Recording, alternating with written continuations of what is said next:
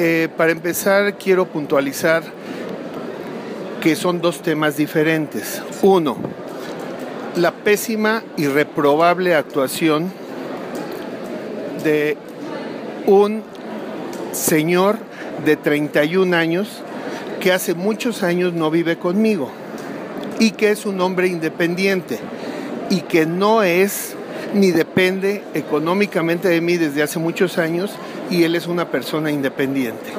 El choque fue el día 2 de febrero, por la noche, para amanecer 3 de febrero. Para entonces yo no tenía ningún nombramiento político. Entonces, este es un asunto de carácter estrictamente personal.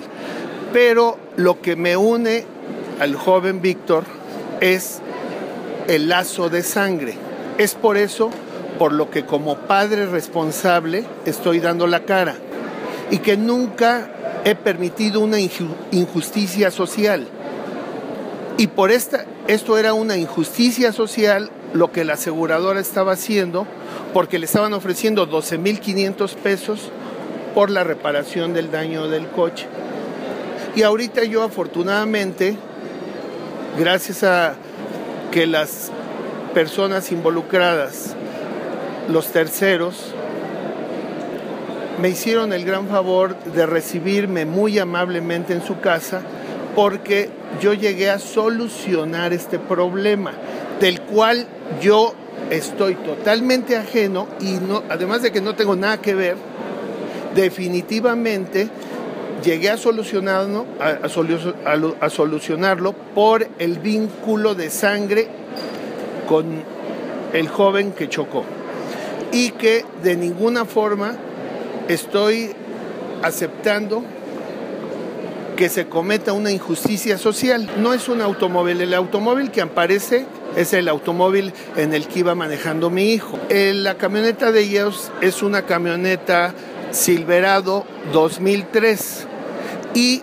lo que yo quedé con ellos, el acuerdo es eh, solucionarles el problema y les voy a entregar una unidad similar o mejor a esa y para que ellos sientan que el daño fue reparado. estamos eh, tanto ellos como su servidor Estamos en estos días viendo en lotes de autos. Porque ya pasaron más de seis meses. Bueno, ya estamos casi. Señorita Linda, le quiero decir que la semana pasada yo me enteré de esto y actué de inmediato y que de ninguna forma yo voy a dejar esa familia desprotegida. Soy un hombre de palabra, el cual un hombre que me siento avergonzado por esta situación, pero eso no implica que yo permita una injusticia social. Logramos que la aseguradora ya repare la camioneta, la unidad, que obviamente yo me quedaré con esa unidad. Y que voy a citar a una rueda de prensa para en el momento que se cumplan cada uno de los eh, puntos y se entregue la camioneta, vayan ustedes para que efectivamente vean que soy una persona de palabra y que sé cumplir cada uno de mis compromisos.